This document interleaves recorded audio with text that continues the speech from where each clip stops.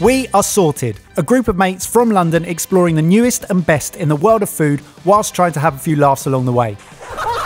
We've got chefs, we've got normals, and a whole world of stuff for you to explore, but everything we do starts with you.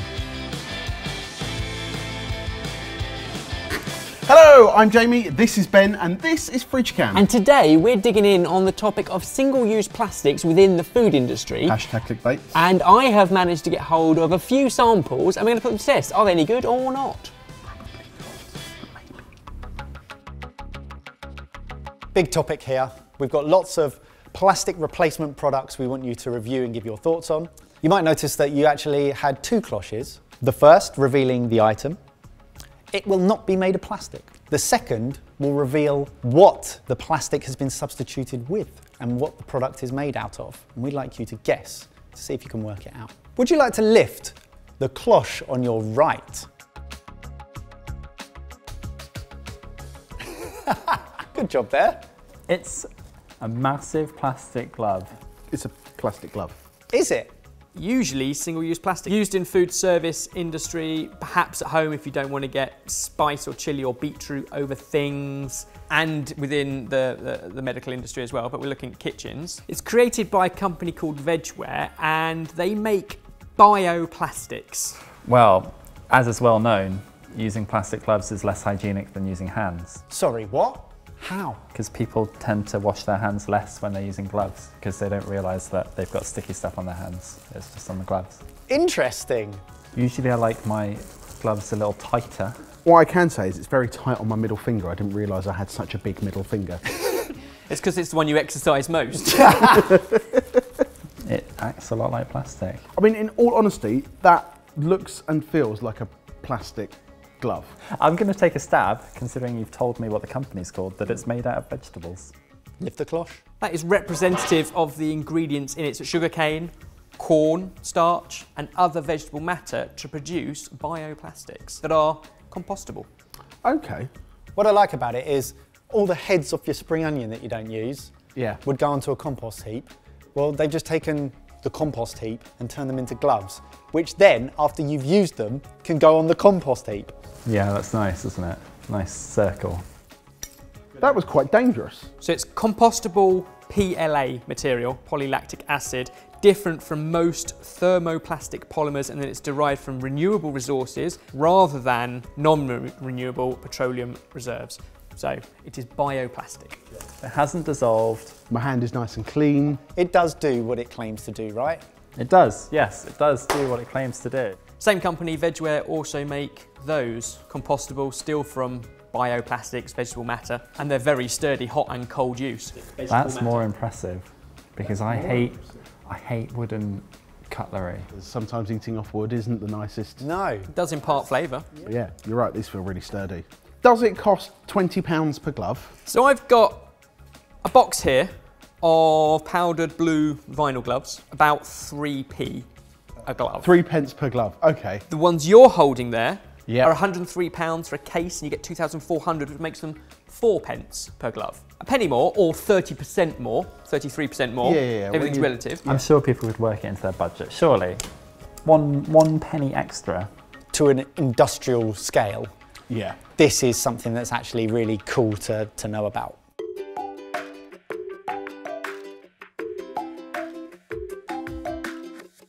Straw. Ooh. Trying to work out if they're chopsticks or straws or both. now that is an invention. Chop straws. Two different straws, two different materials. If it helps you, I've got your a gin and tonic and a smoothie if you want to give any of them a go. Excellent. This one seems bamboo-y. It's not bamboo. I think I know what this is. Is this a pasta straw? You don't know what that is. This one's a little more papery. I don't know. I just feel, find drinking out of that weird. It looks really organic. The two you have in front of you are both compostable and biodegradable. So yeah, we know that plastic straws are the enemy. We know there's lots of other versions that perhaps include glass or metal or bamboo that are reusable, but there's the problem of having to clean them each time. These are single use. I have not been in a bar that served plastic straw for a while. What are you being served instead then? Paper. Okay. Ugh.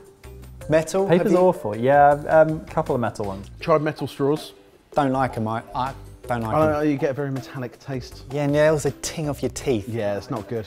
Metal straws are a nightmare because you can't tell if they're actually clean on the inside, so they're actually causing health and safety problems because they're not hygienic. Because although they might have had a little brush up, though, they're not necessarily entirely clean. A brush up though. That was an unnecessary. you didn't need to there at all. An awful lot of apples are juiced for apple juice, and once you've got rid of the juice, apple juice or cider, you're left with stuff, and that stuff can be turned into that. They also say that that is edible. It softens over time, but that you can still use it as a straw, but that it should taste sour and sweet like apple. The other one, the paler one you see, is made from avocado stones. The company that make them, based in Mexico, use 15 tons of avocado stones a day that is otherwise agricultural waste. That's decent. I've always wondered what you could do with avocado stones. And to be fair, these new companies are very secretive about their methods for obvious reasons. However, they talk about the positives of what they do use, not necessarily how they do it. But it is compostable. Do you think the organic nature of it is a positive selling point? I think the avocado one is more so because it just feels more like a plastic straw. It's like the solution to the problem rather than like the interim of paper. You know what? The biggest difference that you could make? Teaching people how to drink from a glass. Does beg the question What? do we even need straws? There's a few people who need them because they have medical, Medical or life changing yeah, conditions that mean a straw is necessary. Yeah. Absolutely. Maybe we should all just stop sucking and start sipping.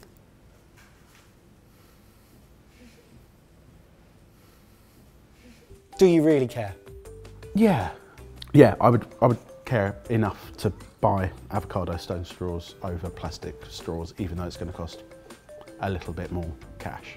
Apple fibre straws, they are currently selling a box of 500 for about 39 quid, which makes them 8 pence a straw. Okay. Avocado stone straws, £8.99 for a box of 150, that makes them 6 pence a straw. It's a pass from me. Go for it, mate. What is that? I have absolutely no idea. It's something to keep things fresh. How do you know that? Because it says keep it fresh, keep it fresh, keep it fresh. What do you think it's made out of? Something and then beeswax. It's an alternative to cling film. Oh, it's clammy. Just out of interest, how often do you stroke cling film? Quite often, because you have to stroke it when you put it on things. So yeah, actually, most days. That's why your middle finger's so big. it's called, uh, among other things, a bread wrap. So it's perfect for wrapping up bread to keep it fresh rather than cling film. Instruction for use, the warmth from your hand will begin to soften the material and help to seal it in, cling it in. It was it was more satisfying than I expected. It like sticks to itself a little bit. Yeah, actually, for wrapping bread, it's, it seems quite good. What else would you wrap? Whoever cling films the bottom of a bowl? What are you doing? I can't put it on the other side of the bowl because it'll give away what it's made of. Lasagna sheets. It works. Yeah. You had a good guess at beeswax. It is made from 100% organic cotton. The, the kind of the resin, the stickiness, comes from pine resin, sumac wax, sunflower wax, rice bran wax, and other things. It is soy and palm oil free and is a vegan bread wrap. One of the things to consider, don't use it to wrap hot food. And if you're washing it, wash it in cold soapy water, not hot soapy water. I like the idea of this actually. I like the idea of replacing cling film with something that's reusable. It Doesn't feel to me like a multi-use alternative to cling film where you're going to use it on different things at different points. Salads at a family barbecue, you might have five on the table. Yeah. You'd need five We need five wraps. How much do you reckon a wrap is, Jay? Oh, A fiver? five pounds. Jay, that food wrap is £16. pounds. Woo! Okay. That's a lot. That's a lot of cling film. At Sorted, it would cost like hundreds of pounds to kit your kitchen out with this. So is that the barrier and, and therefore is this a no? I would just like one that doesn't have nice writing on it and that isn't vegan and that's five pounds. I like these products that are compostable and throwawayable with your other food waste. I like that because people are inherently lazy and that's something that these companies have aimed to solve. Go ahead, buddy. Pow, pow. Oh, is it a washing up brush? It's a Scouring pad. Many of your uh, washing up materials are plastic. Obviously, you want something that's durable and hot, so water isn't going to dissolve and it needs to be long lasting. That is an alternative. What do you think? It seems all right. If it's not plastic, what is it? The tail of a beaver. I think the handle's definitely made of wood, Not lasagna. not lasagna sheets. Uh, It's got some metal in it. tarred bristles. I have no idea what the bristles are. I feel like I should know. Because, What do you mean like that's a shoe brush or something? yeah, I didn't want to say shoe brush because it makes me sound posh. But it reminds me of shoe brushes outside of a country house. Damn it! to scrape your wellies before you go in, kind of thing. Yeah, exactly. Yeah. I think it's a twig. Well, bamboo. and that's grass, isn't it? well, lift the cloche. This is an Australian brand, Eco Coconut, and it's made ethically in Sri Lanka from sustainable farmed coconut fibre and then wrapped around stainless steel wire. Importantly, removes leftover residue, including the stubborn ones. Non scratch, no plastic or toxic chemicals. Sustainable, naturally antibacterial and toxin free, biodegradable, stroke recyclable. Basically, they have won a number of sustainability awards for their work. It's come all the way from Australia. I sound like a real prick when I say things like that. It is part of the bigger conversation because you find yourself in this murky, murky world of actually, like, from a lifelong perspective, how much more eco friendly is that? But if you've got a startup and you're approaching the problem from that perspective, you're not going to bother trying to innovate. And sometimes we need the mavericks to innovate something. Yeah, they just happen to be in Australia. But if this is brilliant and it works and it solves a problem, then it will get replicated all over the world. Uh, Well, how much? Genuinely, I think it should, like, if it was a fiver, it would probably be quite good. Seven dollars, so it's not far off a fiver. Oh, it's a fiver.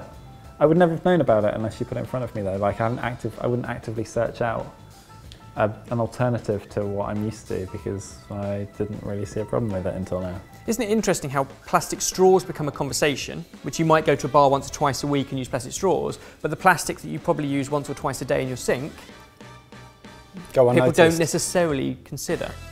So when it comes to it, what are you not willing to compromise on with a plastic replacement? I haven't found that I'm not willing to compromise on anything because I don't really have a choice. Like, if I go to a bar and they serve s- paper straws, it's that or no straw. So it's not what I'm willing to compromise on, it's like what I have to compromise on there. Functionality. Everything has been about making things better. The hardest thing is now trying to tell people, you know, that thing that you really love that's made your life better and easier and more luxurious and thing, we're going to take that away from you.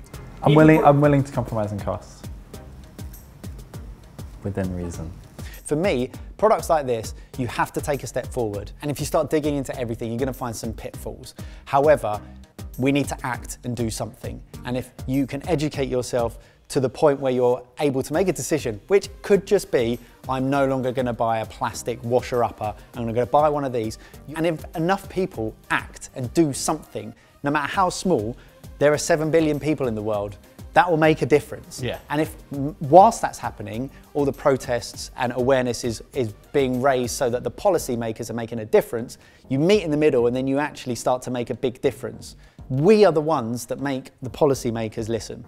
Because we essentially vote them into power and we buy their products. And if we all start kicking off, they're going to have to change something. And I feel like that's what we're on the cusp of at the moment, which is exciting. And that's why, as a group of mates and with our channel, we should be talking about these things. Give the video a like if you enjoyed watching us test these products and we want to know your opinions because this is a massive topic. We felt like we covered a lot of ground, but comment down below which of these plastics should we be prioritising the elimination of, or what will and won't you be prepared to compromise on, or do you even care? Comment down below. Not only that, but we also got proper stuck into this topic on our podcast Feast Your Ears. You can get all the details for that and how to join the Sorted Club downstairs. But one thing you don't have to go away for is Dad Joke of the Week. I love the fact you're, you're giggling already, you haven't even told me yet. Went for a curry with a friend the other day. He kept choking every time he had a bite of rice. Turns out he's basmatic. Thank you very much. Have a good week, everyone. Goodbye. As we mentioned, we don't just make top quality YouTube videos.